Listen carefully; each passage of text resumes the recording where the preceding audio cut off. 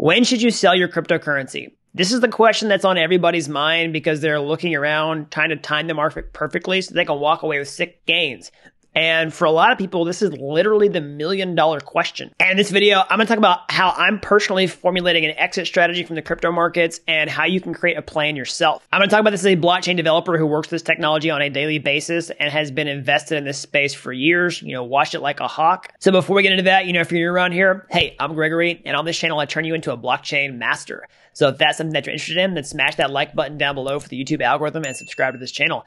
And if you want to learn how to become a blockchain master step by step, start to finish, then head on over to dappuniversity.com forward slash bootcamp to get started today. And last but not least, I hate these disclaimers, but this is not financial advice. This is for educational purposes only. I'm going to show you how you can create a plan for yourself, not tell you exactly what to do. And there's lots of scammers impersonating me down in the comment section below. Just ignore them. I'll never give you my phone number or ask you to invest with me. So when should you sell your crypto? Well, like all complicated things in life, the answer is it depends. When did you buy? Two years ago, five years ago, last week? How much do you have? You know, $1,000, $100,000, $5 million or more? What percentage of your net worth is in crypto? 1%, 10%, 100%? All these are huge factors. So instead of giving you a concrete step by step plan or a one size fits all strategy that everybody can follow to a T, like saying, okay, Bitcoin's going to hit this exact price on this date, just sell when it gets there, that's not really how it works. I want to help you understand how I formulate my personal strategies so that you can create one for yourself. So the old saying goes, you know, give a man a fish, feed him for a day, or teach a man to fish and he eats for life. So the same is true here, but everybody's got a different situation. You might have already gotten a thousand percent return on a hundred dollar portfolio, but you might not care about selling at that point. But somebody else who got a 2x on, you know, five million dollar portfolio, and that's like all their net worth, probably wants to take some money off the table. So there's a huge range in crypto. Everybody's situation is different. And so I want to give you some of the top characteristics of what a good plan looks like so you can create one for yourself. And this is the thought process that I personally use to formulate my own exit strategy. So I'm going to give you those tips first, and then I'm actually going to walk you through step by step how I'm thinking about exiting these markets. So the first characteristic of a good plan is that it deals with probability and likelihood. So, you know, nobody can predict the future perfectly, regardless of what anybody out there on the internet tells you. Like, nobody has a crystal ball to exactly know when this run's going to end and what price point it's going to reach. But that being said, even if you don't perfectly know what the future holds, you still have to try to the best of your ability to kind of see where it's going, okay? And then deal with that improbability. So you say, well, this is what's likely to happen, but I'm going to be prepared for what happens if that doesn't happen. Because we have, you know, graphs, charts, models based upon past history, and it's okay to start with the assumption that history will somewhat be an indication of what's going to happen in the future, but always be open to the fact that it won't always work exactly like last time. And if that's true, then some of these, you know, models just won't even be correct correct this time around. But it's good to start with assumptions and then, you know, revise your plan if those assumptions are wrong. So let me give you an example. You know, one major assumption about this crypto market cycle is that it's going to be a boom and bust cycle a lot like the last runs. So like 2017, for example, where, you know, Bitcoin rose up to $20,000 really fast and then crashed down into a multi-year bear market after that. So my personal plan is going with that assumption that will probably happen that way again, but being open to the fact that it may not. So I'll talk later in this video about what I would do if that didn't happen and give you some examples. But that's one example of saying this is what's likely to happen in the future. So I can start building a bigger plan on top of that. So the next characteristic of a good plan is that it tries to read the market. So there's lots of different tools that you can do to try to read the market. You know, you could use advanced technical analysis, all that kind of stuff. There's plenty of great channels out there that tell you how to do that kind of thing. You can look at on-chain metrics, uh, like Glassnode, for example. You can look at net unrealized profit loss which tries to determine like is the market going to euphoria okay? So euphoria there is the key that to me would signal a probably a long-term market top that i would want to exit at least some of my portfolio from. So you can use a number of indicators to predict this but without getting into a bunch of fancy tools you can kind of just use common sense and look at the price action. Like you can zoom out here and look at you know 180 days. This is a really fast uh, you know, rise, but it doesn't look like a crazy blow off top or anything like that. You know, I'm talking about in a minute how, you know, our assumptions could be invalid and hey, maybe we don't actually get a parabolic blow off top this cycle like we did in the previous cycles. But if we're going what I was talking about a minute ago and just starting off with assumptions, you know, what would a parabolic blow off top look like? Well, this is a much better example, okay, where you see this slower rise and then boom, and just see a vertical wall here. So you don't really need super fancy indicators to see that, hey, this is probably a top when you're going straight up like this in a relatively short amount of time. And that's the key here, the speed, the speed at which the market is moving, you know, vertically. So when you're formulating a plan that tries to read the market, you really want to watch out for the speed at which the price moves. And if it's going really fast, then that may be a time for you to take some money off the table. At least that's how I'm personally thinking about it. Like I said, not financial advice, but that's what I look at. So next, a really good plan changes based on new information. So the whole thing here is you start with assumptions, but new information might come onto the scene that changes everything. Okay. You know, if you're looking at current prices, what if, you know, the correction that we're in right now, you know, went way down? What if we went to here? Or what if we went to here? Well, you know, we were assuming that the bull market is continuing based on all the information that I talked about, those assumptions, but if we saw a candle that took us all the way down to this price level, that's probably a pretty good clue that our assumptions were invalid and that, hey, you know, it's time to start thinking about taking some money off the table. At least that's how I would personally look at this. So my plan would be revised based on that new information. And so what caused this? Like, what could be some factors that come in and validate our initial thesis? Well, don't forget, you know, crypto is not in isolation. We have the stock market. We have, you know, an entire global economy outside of this, this crypto space. And if something major happened in the overall economy, then crypto could definitely go down with it. And let's say something major happened in the overall economy when crypto is in an already vulnerable spot, maybe when it's really propped up by leverage, or maybe we've already seen a dip, then the correction can be really nasty and end the party earlier than a lot of people could think. But by the same token, the opposite could be true. Okay. Maybe our assumptions are invalid and we see the overall crypto markets enter into a super cycle that, you know, graduates from this boom and bust cycle and we go up for a lot longer than people are thinking and it's a lot slower. So what are some things you can look out for there? Well, like I was talking about a minute ago, is really about the speed. What if we reach these price levels everybody's talking about, but it takes us a lot longer and we don't see any kind of euphoric activity? Well, that may be an indicator that we are more of a super cycle phase rather than a boom and bust phase. And that's another example of how, you know, you could revise your plan based on new information. So the next big indicator of a great plan is that it's not perfect. It just has to be good enough. Okay. So you will never time the market perfectly. I will never time the market perfectly and sell at the exact optimum point. By the same token, you'll never buy at the exact perfect time either. You'll never maximize every dollar. So that's why a lot of people choose to dollar cost average when either they're buying in or leaving the markets. So basically the whole idea is instead of going on exchange and just clicking sell, you maybe sell a portion of the portfolio over time. And so if you think you've reached your sell place, you know, I, maybe if I think I've reached my sell place, then maybe I start selling off, you know, a quarter of the portfolio or 10% and do it in increments over time because you're never going to catch this perfect top ever. It looks so easy in hindsight, but it's incredibly set deceptive when it's happening in real time. All right. The next thing is the best exit plan actually quantifies your gains and determines like, is it worth keeping this in the market or do you want to take money off the table? And so you have to think about this. You know, not everybody's situation is different.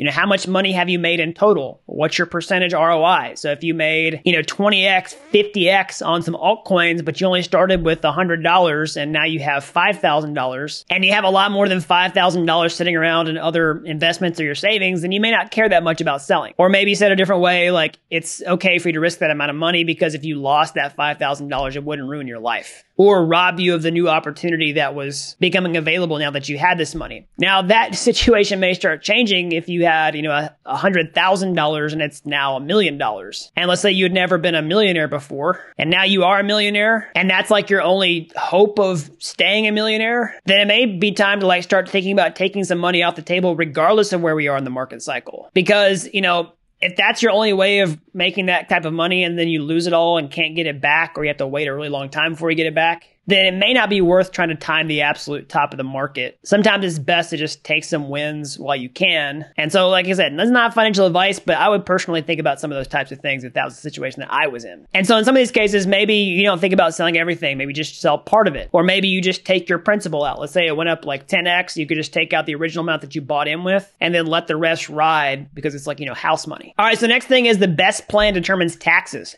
because this might affect when you sell. Okay. So you always want to check with a tax professional who understands your jurisdiction before you make any really important tax decisions. I know this is not financial advice or tax advice, but you know how it works here in America is you pay different capital gains rates depending on how long you've held an asset for. So for me, like if I buy something and I hold it for longer than a year, then I pay less in capital gains tax than if I'd held it for a short amount of time, you know, less than a year. And so some people, this may be an incentive for them to hold longer to reap that benefit, but the crypto market moves really fast and there's risk on the table there. So you don't want to just like try to get a capital gains benefit if the market's going to drop and you're net going to lose money. The whole idea is if you wait on the tax break, does that actually net you a higher return long term? So that's the thing you have to think about when factoring in taxes. And also just the tax basics. Like don't forget you have to pay taxes on this stuff and if you don't, people can definitely find you. And so another thing is, you know, some of our assumptions are invalid and we are in a, you know, super cycle then for some people, maybe there's a tax advantage to staking some of, if not all of your cryptocurrency. So how it currently works here in America is if you buy Bitcoin, let's just say like $10,000 and it goes to 100K, then you're only taxed whenever you sell. Okay. But if you just take the, the Bitcoin and you, let's say,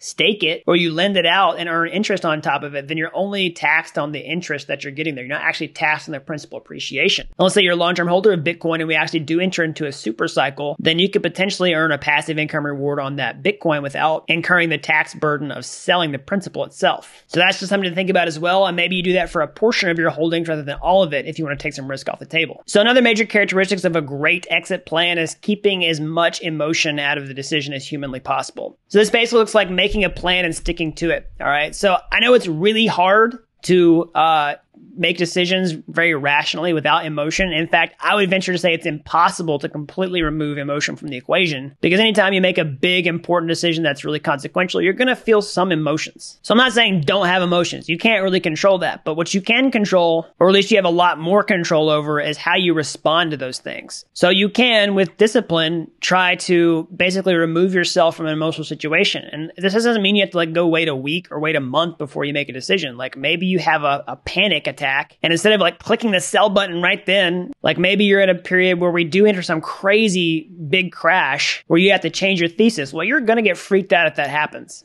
At least I personally know that I would. So what would I do in that case? Well, I probably just take a breather. All right. I would go outside. I would do something to try to regulate my mood as much as possible to make the most rational, clear choice. And I would probably make a plan about what I'm going to do in the future rather than right now in that moment. And whether the future is an hour from now, it's tomorrow, it's, you know, two days away. I would just plan it in advance and stick to it rather than just doing what I feel like in the moment. All right. So those are a bunch of different characteristics of what a good plan looks like. So let's kind of put all that together and talk about what I would personally do and how I use all the information that I just gave you to formulate my own plan. So this will give you a little bit of what my background looks like, what my current situation is, and how I actually put all these things into practice. So number one is I bought most of my current cryptocurrency holdings in 2020. So I've already seen quite a bit of appreciation in the market so far. You know, I didn't just get in last week. So to me, like the risk reward scenario of buying a lot more right now is a lot lower than just holding what I have. And by the same token, you know, it's a significant amount now, and I don't want to just watch it drop by 90%. So how would I think about exiting the markets? Well, let's go back to what I talked about at the beginning of the video is looking at some indicators, you know, entering into euphoric period. So part of that speed, all right. So I would, of course, look at the on-chain metrics to try to get an indicator of, you know, are we in a period of euphoria? But I also choose common sense. Like I would look at the charts and I would say, do we see some sort of big parabolic blow off top? So what would that potentially look like? Well, if we were sitting here in Bitcoin, let's say in the next 15 days, you know, Bitcoin just rocketed off past $100,000, maybe like to $110,000 next week or so. That to me would look like a euphoric blow off top. Even if the on-chain metric didn't say it, which I think they probably would just from, you know, my quick assessment of that. That's when the Bitcoin price would basically double uh, from this price level that's already seen a lot of appreciation at, it would just look like a big parabolic blow off top. And I would really start thinking about taking some money off the table in that case. And in that case, I would probably try to do some dollar cost averaging out of the market rather than just selling everything all at once. And another thing to think about as we start approaching that number really, really fast is there are big psychological numbers at play. You know, 100K is a psychological number. I think once we get to 100K, things will get dicey. I mean, assuming that we even get there in the first place. And if we do, then it may make sense to start dollar cost averaging out before we even hit 100K, just because it's a strong psychological number that there's no guarantee that we'll even hit it in the first place. Because that's basically what happened with Bitcoin back in 2017. You know, 20K was a really strong psychological number, and we never really quite even hit it on all exchanges. So what's another scenario? Well, you know, what if we're looking at like the Ether price, for example, and ETH slowly rises uh, over, you know, the next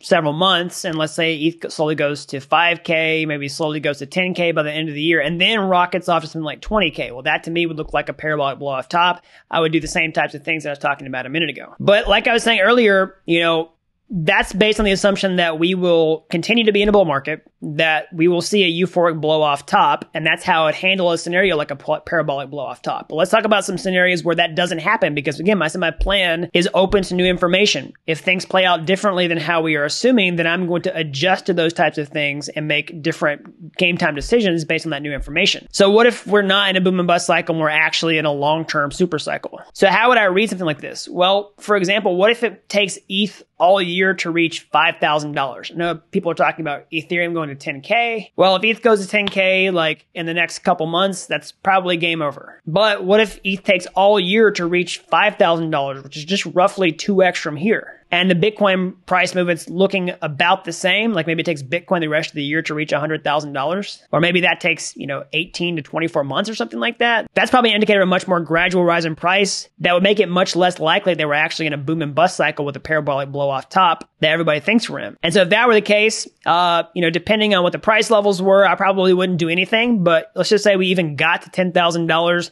then maybe I would just sell like a part of that. Try to take some money off the table, you know, realize some gains, but leave a lot more in for the long term because I don't think it's going to just instantly dump and enter into a multi-year bear market really time soon. So another scenario is like a, a price dump. So what I was saying earlier, like what if, you know, the Bitcoin price just takes a nasty correction from here, you know, goes all the way down. Um, well, you know, that would invalidate a lot of things. Like I said, we have to look at new information. But for me personally, again, it's not financial advice for you because everybody has a different situation. At the current price level, with the current amount that I hold, I would probably just honestly hold long term because I don't really need the money that I've got in it right now. It would suck to watch it drop by 90%, but that's probably just what I would do at the current price level. Maybe I might sell a little bit off if we have like a big relief pump back to maybe 80% of the price levels before. But that's not financial advice for you. Your situation might be different. That's just how I'm thinking about it. Because again, I'm investing in other things outside of crypto. It's not my only hope. All right. So the last thing is an actual like super, super, super nasty crash. Like what if the crypto market just defies everyone's expectations and crashes down to like, you know, I don't know, something crazy back to where we were at the beginning of the year or something like that. And it just totally invalidates everyone, everything everyone's, let's say something happens in the global economy that completely changes the game. Well, like I said a minute ago, um, you know, I probably wouldn't be selling at that point. And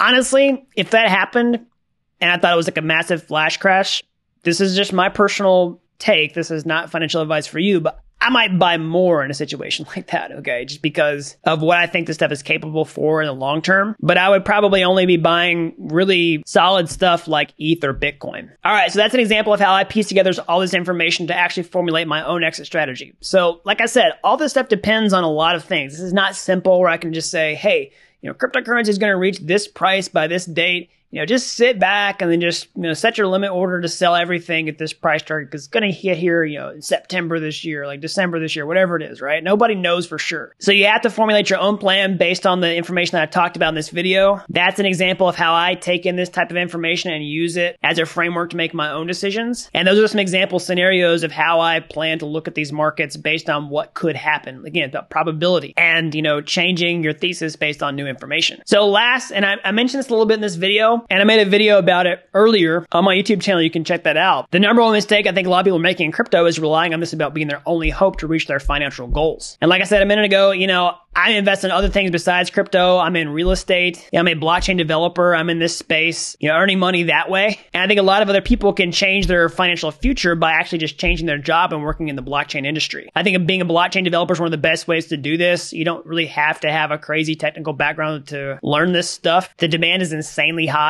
And so that's something that you're really interested in. Then how could you get started today? Well, you can go to my YouTube homepage. You can find any of my free courses there, like Udemy courses, but they're totally free. And if you like those and you went to the next step or hey, Maybe you want to take a massive shortcut entirely. I can show you become a blockchain master step by step, start to finish over at dappuniversity.com forward slash bootcamp. All right, so that's all I got for today. As always, smash that like button down below, subscribe to this channel if you haven't already. Until next time, thanks for watching Dapp University.